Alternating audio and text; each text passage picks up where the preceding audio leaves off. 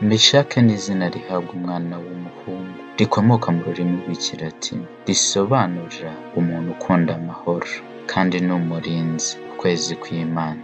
Ba meshake bakunze kurangwa no kugira imbaraga. Bazi gucunga umutungo bakunda ibyo bakora.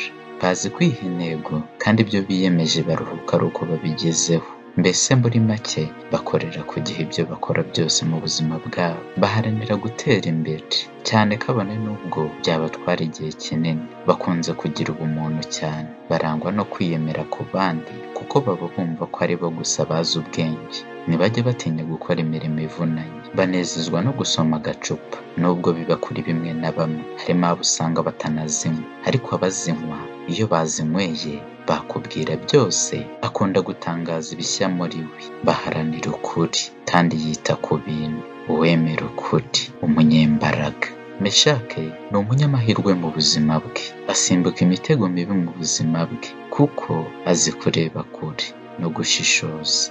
Arakunda akanakundwa. Gusa abikora iyo bimurimo. Rimwe na rimwe ashobora kugukunda cyangwa ntagukunde ntabwo ari wa muntu ujarajara.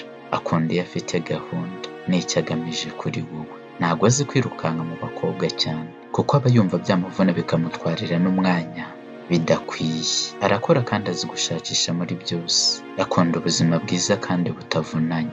Imana ikomeze ibarinde reka tuzasubire ubutaha mukomeze kugira ibihe byiza. Nawe jya handika ibitekerezo wandikamo amazina wifuza ko tugusobanurira yaba wowe ubwawe ndetse no muri mu rukundo. Nitwa inshuti jacques ndabakunda cyane.